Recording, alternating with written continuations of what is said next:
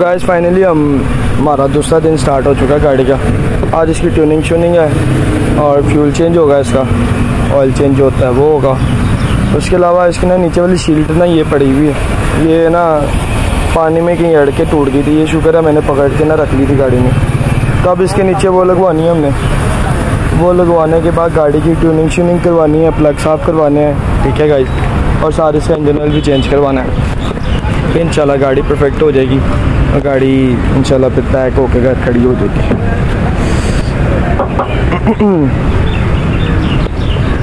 गाड़ी की कंडीशन बहुत ही गंदी हुई है। सो अस्सलाम गाइस जैसा कि आपको पता है कि मैं आज गाड़ी का काम दूसरा करवाना था सारा। ये इसको इंजन का काम करवाना था, इसको इंजन और ट्यूनिंग शूनिंग करवानी थी। तो गाड़ी मेरी अब आके एक लाख सात सौ सत्तर चली है। तो अब जाते हैं अभी गाड़ी ज़रा इसकी लाइट्स वगैरह साफ़ करवानी थी। नीचे वाली शीट जो थी वो टूटी हुई थी, वो लगवानी थी, क्योंकि वो पानी में चली थी, जिस वजह से टूट गई थी वो। वो लगवाएँगे आज हम। और इसकी जो छोटे मोटे काम है वो करेंगे। सो अब बात ये है कि अब कई भाई पूछ रहे थे कि भाई कई जो थे, उनकी बात ये थी कि यार मेरा जो ऑटोमेटिक जो वीटी और प्रोस्मेटिक है ना वो तीन हज़ार आर पी एम पे हो तो वो एक सौ बीस, एक सौ दस, एक सौ बीस पे होती है। और मेरी जो मैनुअल है तीन हज़ार आर पी एम पे हो तो पूरी एग्जैक्ट हंड्रेड होती है वन ज़ीरो ज़ीरो पे होती है। तो इनमें क्या फ़र्क है? क्योंकि गाड़ी का इंजन सेम है, ये है तो वो इंजन सेम बिल्कुल है। लेकिन भाईजान, ये गाड़ी मैनुअल है, वो ऑटो है। ऑटो और मैनुअल में थोड़ा सा फ़र्क लाजमी आता है। क्योंकि इसकी आर पी एम आपने इसका ज़ाहिर सी बात है गेयर खुद शिफ्ट करना होता है।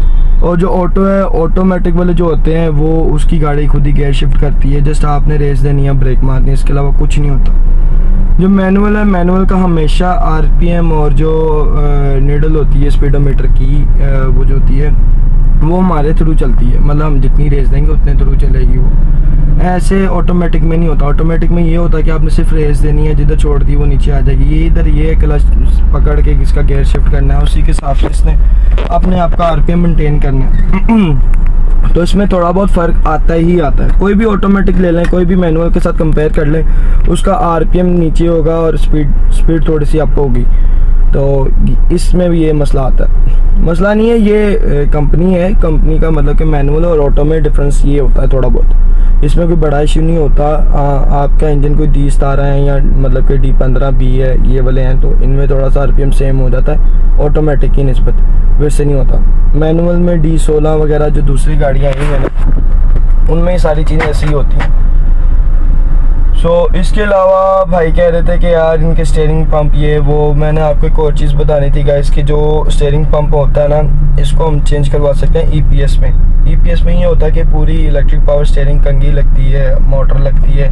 तो उसका एक बेहतरीन हल ये है कि गाइस आप इसको सिर्फ़ और सिर्फ़ तो इनकी पावर स्टेयरिंग मोटर भी लग जाती है जो कि नीचे फिट होती है और स्टेयरिंग पंप का रोला मुक जाता है। गला थोड़ा सा ख़राब है मेरा। तो ज़रूरी नहीं कि आप E P S steering motor जो है वो भी लगवाएँ, साथ इसकी कंगी चेंज करवाएँ, ऐसा कोई इशू नहीं है। इसके साथ पावर स्टेयरिंग मोटर लगवा लें, अगर आपका ये पावर जो है स्टेयरिंग पम्प इशू कर रहा है लीकेज में। है वैसे तो अगर लीकेज में उसकी पाइपलाइन चेंज करवाएँ तो ओके हो जाता है, उसके अलावा कोई इशू नहीं है। हाँ आपकी स्टेयरिंग की कटाई में थोड़ा सा आरपीएम अप एंड डाउन होता है तो उसका बड़ा कोई इशू नहीं है। बिकॉज़ जो स्टेयरिंग मोटर है वो स्टेयरिंग की रेस पर चलता है मतलब। सो ये चीज़ें थी जो होती हैं। पावर शेयरिंग की जगह पे पावर पावर शेयरिंग मोटर लगवा लें ईपीएस कन्वर्ट ना करवाएँ कि इलेक्ट्रिक पावर कंगी लगी हुई है ये तो वो, ऐसे तो वैसे, ऐसा कुछ नहीं है। वो फजूल का खर्चा और कुछ नहीं। और दूसरी बात इसमें ये थी कि भाई लोग पूछते हैं कि अच्छी साफ़ सुथरी कंडीशन में गाड़ी कितने की मिल जाती है। देखें मार्केट में ना ये गाड़ी की वैल्यू पच्चीस लाख रुपये अभी है। मतलब जिन लोगों ने गाड़ियाँ बड़ी प्यार प्यार से रखी हैं, सजावट के लिए सजा के रखी हुई है ना, जिन्होंने बड़ी केयर की हुई है। जो इसके फ़ैन है ना, वो इसको 25 लाख रुपए में भी खरीदने को तैयार हैं। और जो जो इसको जानते नहीं है, जो इसको समझते ही नहीं ना गाड़ी, वो कहते हैं, भाई 10-12 लाख तो उतने गाड़ी नहीं है। तो ये फ़र्क आ जाता है हमारी मैंटेलिटी में। अब ये गाड़ी 2005 मॉडल है, आप इधर से हिसाब लगा लो, इसकी टॉर इसकी मतलब कि जो पावर पावर जो है, जो इसकी पिक है, वो अभी की लेटेस्ट मॉडल की जो करोला है G L I X L I Altis वगैरह नहीं पकड़ सकती। इसकी टॉर्क बहुत है माशा पिक बहुत अच्छी है। तो हमारा, इस वजह से मैं आपको कहता हूँ कि इसको हमारा कंपेयर करना बनता ही नहीं है किसी और गाड़ी से। तो इस वजह से मैं इस गाड़ी का थोड़ा बहुत हूँ कि मैं इसी को ज़्यादा यूज़ करता हूँ। लेके आता हूँ मैं। सॉरी वो भाई आ गए थे शील्ड वाला मैंने बात करनी थी।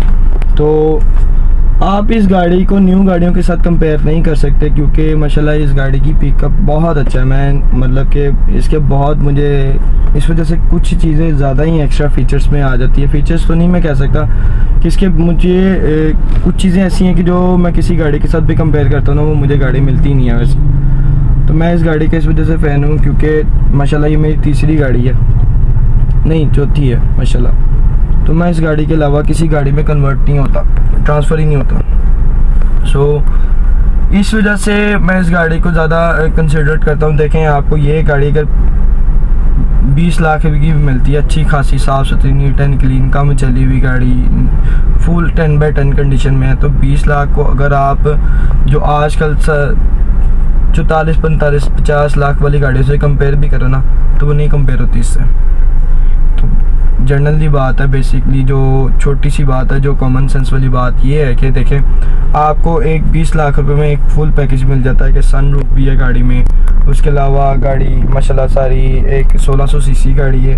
ऊपर से बड़ी गाड़ी है, डिग्गी वाली गाड़ी है अंडर पावर फील नहीं करवाती आपको।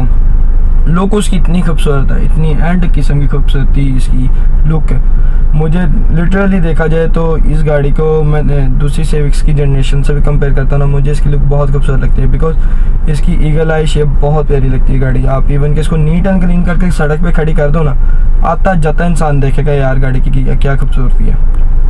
तो गाड़ी की लुक बड़ी मैटर करती है। उसमें ये सारी चीज़ें आ जाती हैं कि यार, जो भी है ना, गाड़ी खड़ी खूबसूरत लगे, बाहर से देखने से खूबसूरत लगे, अंदर से बड़ा इंटीरियर खूबसूरत दिया हुआ इन्होंने।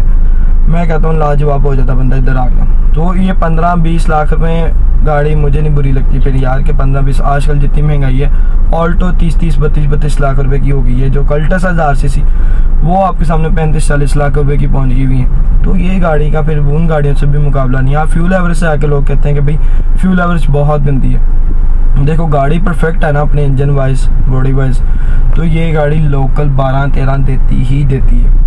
लॉन्ग पे सतारह दे देती है, सोलह, सतारह, अठारह तक दे देती है ये एवरेज तो इतनी एवरेज ही देगी, एक तो 1600 सीसी गाड़ी है, बड़ी गाड़ी है, आप लोगों ने रखी हुई है, और आप उससे ये एक्सपेक्ट करो कि भाई 20 तक एवरेज दे तो ये ऑल्टो तो है नहीं है कल्टस तो है नहीं, या वैगन आर तो है नहीं। तो यारस भी आपको ज़्यादा ज़्यादा इन इन सिटी में परफेक्ट ड्राइविंग के साथ आपको गाड़ी की एवरेज निकल आती है, चौदह, पंद्रह, सोलह। तो इससे बढ़ के क्या चाहिए फिर? तो ये माशाल्लाह गाड़ी, इन चीज़ों को मैं इस वजह से किसी और गाड़ी के साथ कंपेयर नहीं करता क्योंकि इसका कंपेयर बनता ही नहीं है मेरी नज़र में।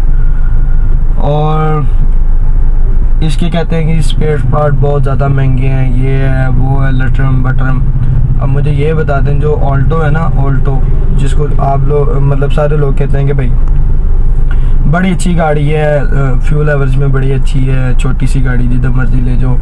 फ्यूल उसकी जो लाइट है ना हेडलाइट वो तकरीबन तकरीबन सताईस हज़ार रुपये की लाइट एक सिर्फ़ एक। और इस, इसके दोनों पैर ना पच्चीस से तीस हज़ार रुपये में मिल जाते हैं। इधर से देख लें क्या फ़र्क है। फिर हम कहते हैं लोग कि भाई, गाड़ियाँ बहुत, ये गाड़ी की स्पेयर पार्ट बहुत महँगे हैं, ये गाड़ियाँ हम खुद ही बदनाम कर देते हैं। जिन्होंने ये रखी हैं, जिन्होंने ये रख के चलाई हैं, जो इन गाड़ियों को समझते हैं ना, उनकी नज़र में ये गाड़ी की वैल्यू बहुत होगी।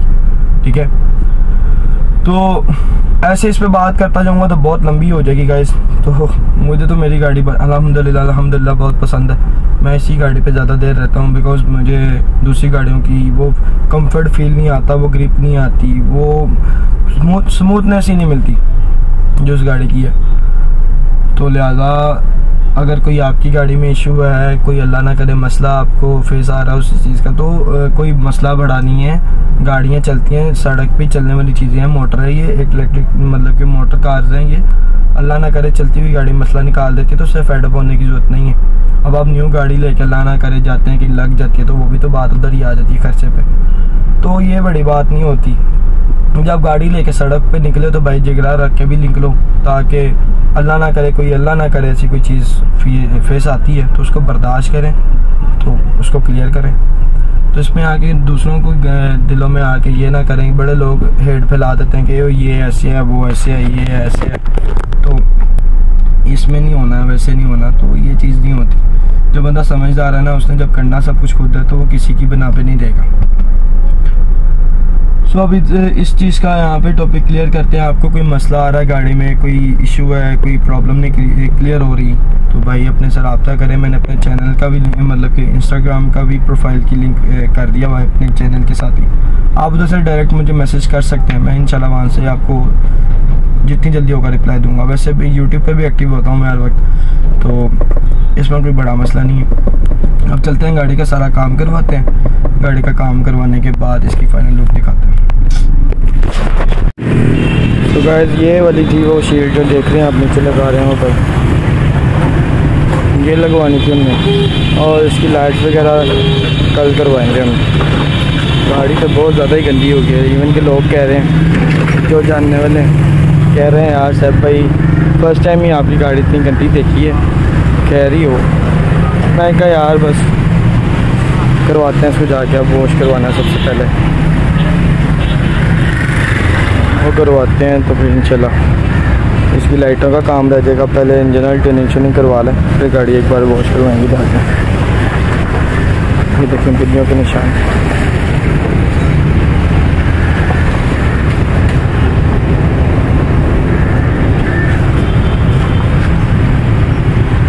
गंदगी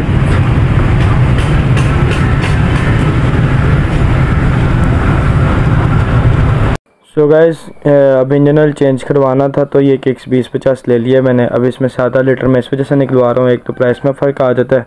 दूसरी बात यह है कि कुछ मैकेनिक्स होते हैं जो कि साढ़े तीन के बजाय थोड़ा सा एक्स्ट्रा कर देते हैं, जिस वजह से गाड़ी के टैबलेट जैन कवर में लीकेज आ जाती है और गाड़ी की लीकेज की वजह से गाड़ी को इंजन की खूबसूरती बड़ी ख़राब हो जाती है। तो ये साढ़े तीन लीटर मैंने करवा लिया है, आधा लीटर इसमें से निकलवा दिया है, क्योंकि इसमें ऊपर नीचे वाली बात ही ना हो, ना ज़्यादा डलेगा। ना ये लीकेज वाला इशू होगा। तो आप भी नेक्स्ट टाइम करेंगे तो ये फ़ायदा होगा साढ़े तीन लीटर, क्योंकि आधा लीटर जो होता है वो एक्स्ट्रा ज़ाया ही रहता है। तो इससे अच्छा साढ़े तीन ही लें, साढ़े तीन ही डालें, ताकि नेक्स्ट टाइम आपकी गाड़ी का भी कोई लीकेज का इशू ना हो। और कार्पोरेटर क्लीनर भी ले लिया तो अब सारी चीज़ें ले आए हैं, और अब गाड़ी की ये कोयल्स वगैरह तो खोल दी गई हैं, और अब इसमें प्लग्स वगैरह निकाले जाएँगे, उसकी सफ़ाई की जाएगी। और इसके साथ टोटल बॉडी की भी सारी सफ़ाई की जाएगी, ताकि गाड़ी की परफॉर्मेंस मज़ीद बेहतर हो जाए एवरेज में भी मज़ीद बेहतरी आ जाए। और गाड़ी ज़रा स्मूथनेस ड्राइव एंड ड्राइव दे। तो गाड़ी ये चीज़ें थोड़ी बहुत ही होती हैं। जब बंदा करवाता रहे तो इससे गाड़ी की परफॉर्मेंस बहुत बेहतरीन रहती है। ना गाड़ी का कोई इशू होता है, ना गाड़ी कोई आपको अंडर पावर फील करवाती है। तो आप तीन चार महीने बाद ये चेकअप करवा लिया करें। इंजन ऑयल चेंज होने वाला नहीं है होने वाला, फिर भी करवा लेना चाहिए ताकि गाड़ी की परफॉर्मेंस बेहतर रहे। और मैंने आपको बताना था कि टोटल क्लीनर के लिए ना नासा का स्प्रे मिलता है, जो कारपोरेटर क्लीनर होता है टोटल क्लीनर उसको यूज़ किया करें, ये जो दूसरे कुछ मकैनिक्स होते हैं, जो कि पेट्रोल से साफ़ करते हैं तो लिहाजा इस, मैं आपको इसका कहेंगे तो बता दूँगा कि नासा का स्प्रे बहुत बेहतर होता है इसके लिए। तो गाइस अब प्लग वगैरह साफ़ होकर लगा दिए गए हैं कोयल्स भी लगा दी गई हैं और टोटल जो क्लीन होनी थी वो भी कर दी गई है, वो भी लगा दी गई है। अब जो गाड़ी का है पुराना ऑयल निकाला जा रहा है और जो न्यू लेके आया था, उसको डालेंगे और इंशाल्लाह गाड़ी पैक करेंगे वापस दोबारा और फिर इसको वॉश करवाएँगे। तो बस मेन लास्ट काम था जो कि इंजन ऑयल था। इंजन ऑयल भी खैर से अल्लाह का शुक्र है चेंज हो चुका है। एयर फ़िल्टर भी सही था ऑयल फ़िल्टर इसका चेंज करवा लिया था मैंने। और अब इसके बाद हम जाएँगे गाड़ी को अच्छे से वॉश करवाएँगे, ताकि हमारी गाड़ी अपनी पुरानी खूबसूरती में आ जाए, क्योंकि बहुत गंदी हो गई थी ऑलरेडी मकैनिक भी कह रहे थे सारे बेचारे। तो अब चलते हैं, इसको वॉश भी करवाते हैं।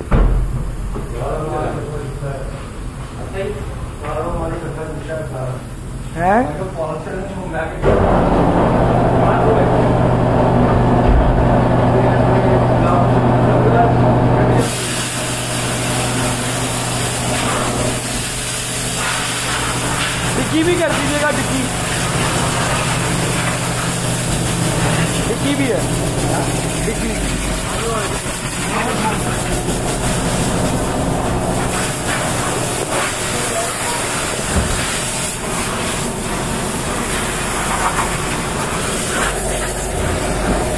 फाइनली गाइस अब गाड़ी का जो आखिरी काम था मेन काम वो ये है।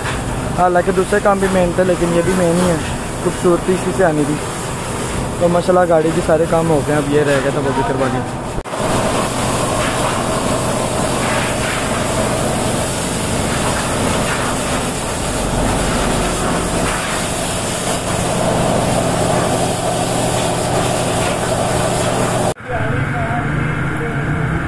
So तो guys, आपके सामने मसला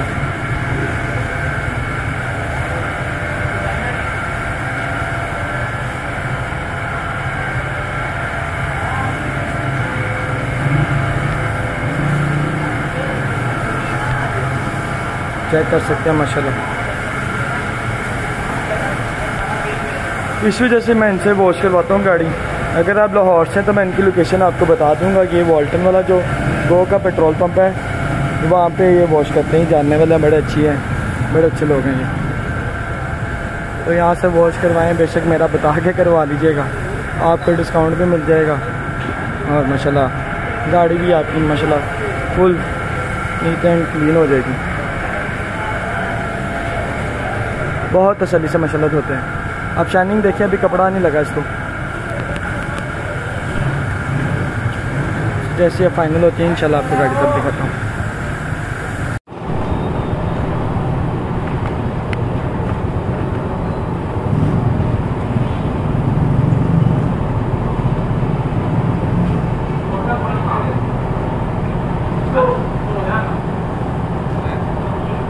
ठीक है। ये दस लीटर हाँ एक टन डलवा लिया।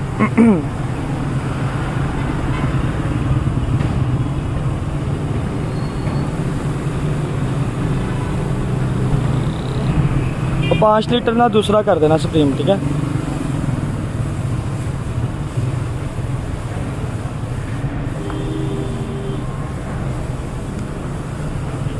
भाई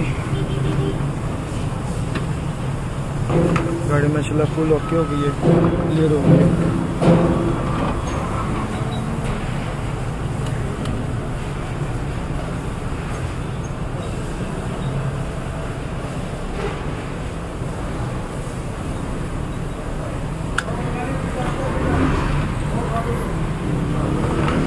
तो चलते हैं घर। फाइनल बात करते हैं वहाँ पे। अब हम आए रहती थी, वो भी करवा ली मैंने। आपके सामने माशाल्लाह। गाड़ी अपनी कंडीशन में वापस आ गई है।